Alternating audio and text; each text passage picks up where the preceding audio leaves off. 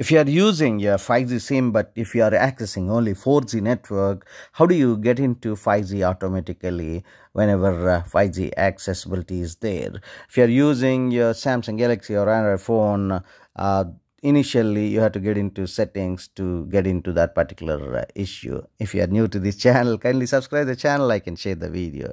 Without much delay just get into your top right corner uh, icon uh, here for settings. Upon uh, getting into settings under the settings you will be finding so many options here out of which you have to get into these connections. Tap it here on connections upon tapping you'll be again having so many options you have to find out uh, mobile networks under these options and tap it here on mobile networks.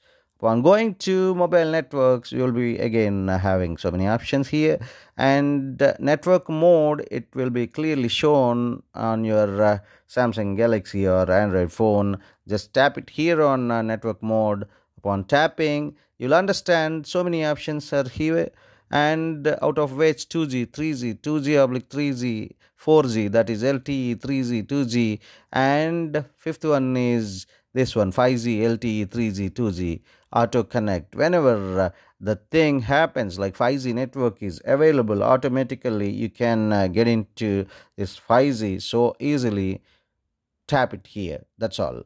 From 4G I have been moving to 5G turn off uh, power saving mode or change its settings to 5G. You are in uh, power saving mode until and unless if you don't uh, turn off uh, your power saving mode, you can't get into 5G. So if it is very difficult to find out, change its settings to use 5G. Power saving mode you have to turn off, then it will be done.